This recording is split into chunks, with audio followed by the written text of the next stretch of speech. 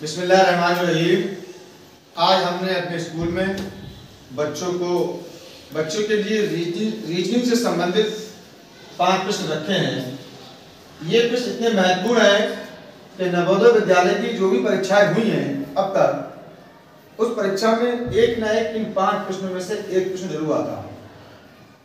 बहुत ही ज़्यादा इसकी उपयोगिता है और इन प्रश्नों में से जो प्रश्न दिए हैं इसमें से चार प्रश्न चार उत्तर जो हैं किसी न किसी रूप से एक समान है।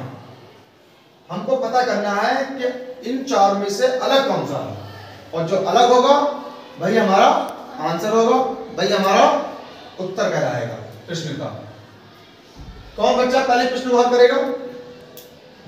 आइए इजाज़त। है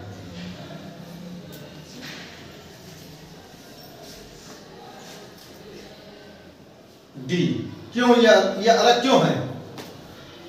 सर।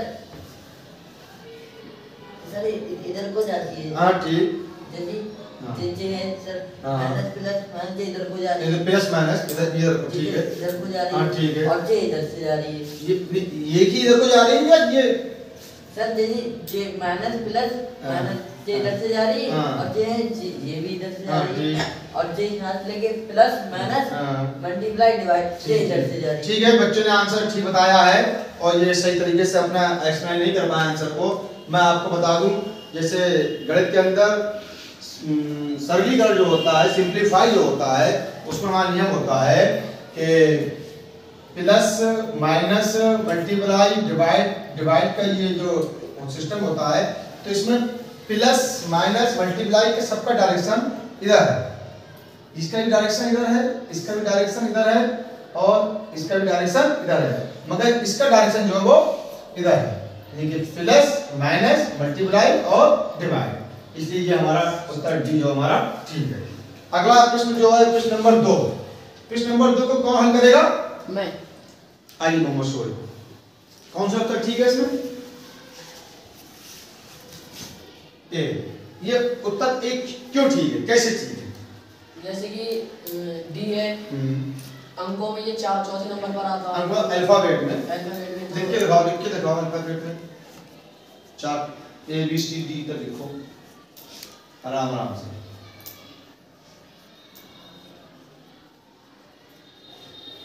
ठीक। नंबर डालो उस पर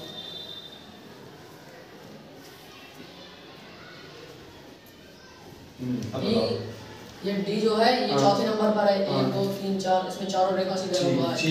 ये सी जो है तीसरे नंबर पर है। हाँ। तो तीनों रेखाओं से घिरा हुआ है। ये हम्म। ए जो है ये पाँचवें नंबर पर है। हम्म। ये पाँचों से घिरा हुआ है। हम्म। ये ए जो है ये पहले नंबर पर है लेकिन इसमें तीनों रेखा से ठीक घिरा है। हुआ है। ठीक है है हाँ, ताली बच्चों ये बात ताली देखिए बच्चे ने बताया कि अल्फ़ाबेट में हमारे क्रम जो होता है अल्फ़ाबेट का नंबर का ए पर वन बी पर टू सी पर थ्री डी पर फोर ई पर फाइव तो उन्होंने कहा कि इनका आंसर ए ठीक है. डी का उन्होंने रीजन बताया कि डी चौथे नंबर पर आता है तो चार रेखाओं से घिरा हुआ है. सी तीसरे नंबर पर आता है तो तीन रेखाओं से घिरा हुआ है. ई जो है, पाँचवें नंबर पर आता है तो ये पाँच रेखाओं से घिरा हुआ है.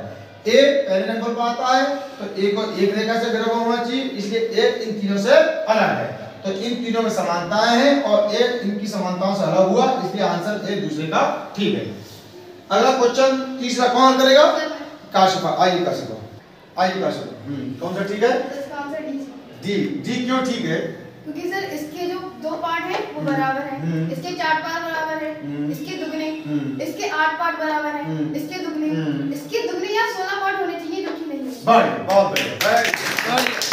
बच्ची ने बताया इसका आंसर डी ठीक है। उसने अपना रीजन बताया कि इसके दो पार्ट आपस में बराबर हैं और बी वाले के चार पार्ट इसके दूने बराबर हैं और सी वाले के आठ पार्ट डी के दूने बराबर हैं। और सी के दूने सोलह पार्ट जो बराबर होना चाहिए जो कि नहीं है बढ़िया क्वेश्चन नंबर चार कौन हल करेगा? आइए मोहम्मद साले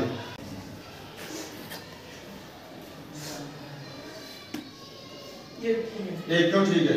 क्योंकि ये सेवन और वन। इसका योग एट है। हम्म। और ये सिक्स फोर हम्म। इसका योग है। और ये फाइव फोर हम्म। इसका योग भी नाइन है। ठीक है।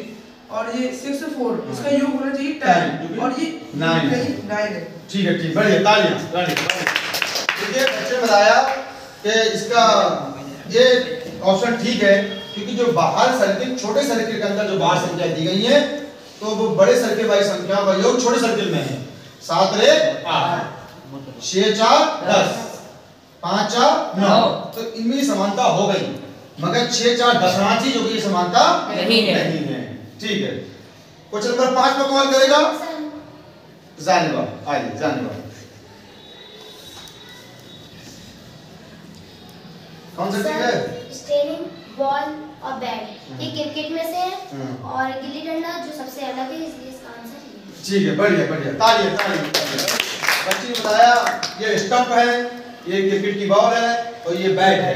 ये सारी चीज़ हमारी क्रिकेट से संबंधित है और ये हमारे गाँव का खेल गिल्ली डंडा है, जो कि क्रिकेट से संबंधित नहीं है। तो इनमें समानता है क्रिकेट की वजह से और इसमें गिल्ली डंडा में समानता नहीं है और ये हमारा अलग है। तो हमें आज की रीजनिंग में उसको पहचानना था जो अलग है। तीन में किसी किसी प्रकार समानता थी तीन उत्तरों में और एक उत्तर उन तीन से अलग था। वालेकुम